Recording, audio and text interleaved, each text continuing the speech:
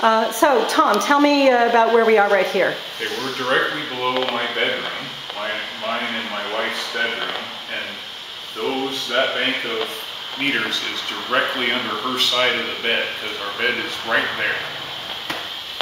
And let's take a look at the measurements that we're getting off of these, uh, this bank of smart meters. I have two attenuators on my uh, high frequency analyzer, meaning that the, uh, the um, readout is now in microwatts per centimeter squared.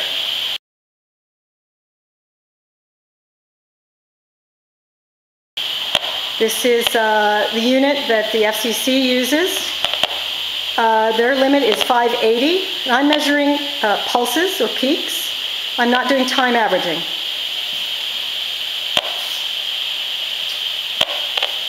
It's obvious that these pulses are happening quite often.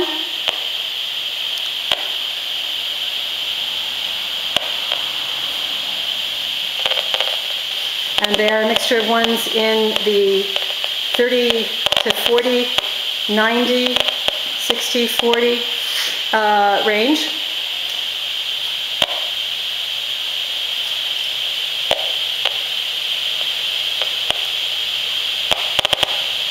There was 162.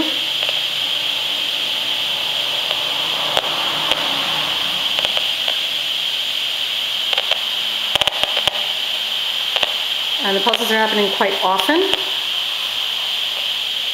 is it not true that if you stood here long enough, eventually you would have enough of them fire at the same time that it would produce a really big pulse? Well, that's a kind of question that remains unanswered. That's the kind of testing and uh, assessment that was never done by PG&E or any of uh, their um, subsidiaries and uh,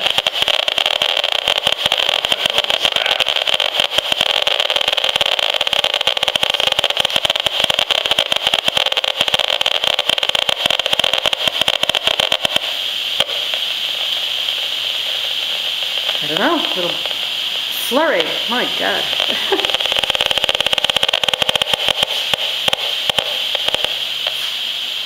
about two feet away. Okay, Tom, so tell me about what we've got right here outside. We're on the other side of the wall we were just looking at. That vent is above the, right above the big bank of meters that we were just looking at. And right above that is our bedroom window. Okay. And about three feet in from there is where my wife sleeps. So what I'm what I'm measuring here is how much are we getting on the other side of this wall? And although we, I can see the the spikes, they're much reduced. And I'm not in my other meter. I'm I'm hardly getting a blip. That means there's a lot a lot of uh, this this earth that's around the building is actually uh, shielding it. Uh, it appears to me quite well. You know, cutting down on. Um, how much is actually coming out of the building. So if it's not coming out this way, let's go upstairs and see if it's coming Yeah. out your way. Yeah, you? We're, we're upstairs in Tom's apartment here. What, what have we got? Your your bedroom, right? This is the bedroom, and Okay. right below that window is where we just were outside, and the banks, the uh, meters are directly below you right now. Okay, so we're just going to put this on the floor for a while and uh, just read what's coming through. There's 15. And you can, obviously, you can hear the clicks. And they're just as often up here as they are down there, because it's, this, you know, it's the same number of pulses. There's a little, a little bit of attenuation, a little bit of shielding from the floor. But it's amazing how much is coming through. I mean, uh, they tested some uh, some mice. They gave uh, one group uh, sham radiation, one group pulsed radiation, and one group continuous field radiation. The one that had the most biological effect was the pulsed radiation. I'm going to orient this a little bit more like this. Um, yeah, see, I've, once I change the orientation towards the bank of meters, then I get uh, a little bit higher. 36. Yeah, Did you 36. see that? Yeah. So your wife sleeps in this portion of the bed? there. Yeah. And she has uh, wakeful sleep. Um, she dreams weird, violent dreams a lot of times all night. and not very restful. Not restful at all. There's Yeah. a 20. Yeah. I was just saying I, I studied physics in college for over a year, and uh, but seeing it, seeing the theory in practice here, seeing it really, what really happens with these fields is, is pretty amazing and kind of scary a little bit. We're on the other side of, of the bed, and um, it's quite active over here, probably because of reflectivity off of the far wall. Also, uh, the meters are aimed out towards this spot. Uh, uh, I've got one attenuator on the more sensitive setting, so I'm just going to read it off. These are microwatts per meter squared. That was uh, 2,000, 2,200, 1,900, 3,000. 2,900, 4,000. Uh, so these are conti- nearly continuous pulses over here. And so even if you were to switch sides of the bed in a pinch, you've still got strong fields all throughout the room. I'm not sure if this if this side isn't worse. Yes, it, it's worse on the floor.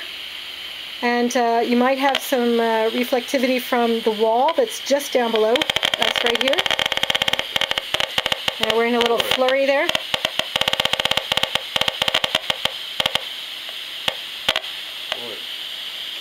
So, you know, people live in, in places like this. All over California apartment buildings have these kinds of arrangements. Somebody lives over the meter, somebody lives beside the bank of meters.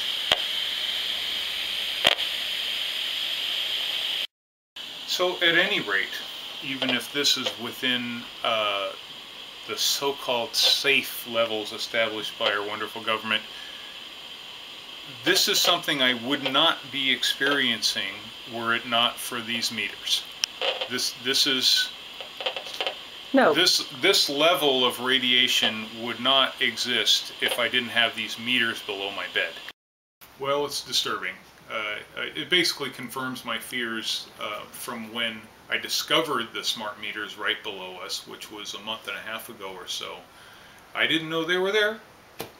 Had no idea, and and then all of a sudden I got into that room for something some other reason, and I found all these smart meters and I started to put two and two together. My wife's sleep has been really disturbed for the last I don't know how long, few months maybe, and uh, now I know why. We're guinea pigs. We're guinea pigs in an experiment uh, that's not really being kept track of by the experimenters. Do you think you'll be forced to move ultimately? Yeah. Oh, absolutely. I uh, I wish we could afford to move right now. I, you know, moving itself is very expensive. So I don't know what we're gonna do. I don't know what I'm gonna tell my wife when she comes home. Uh, this is gonna freak her out. It's gonna freak her out. If you could tell PG&E one thing, what what what would it be? Uh, I don't want to be a part of your experiment. That's that's what I would say. I don't want to be a part of your experiment, and and your experiment is unethical at the at its very foundation. You should have told us first of all. You should have told us they were being installed. You should be telling people much more detail about what exactly these things do, what exactly they're being exposed to.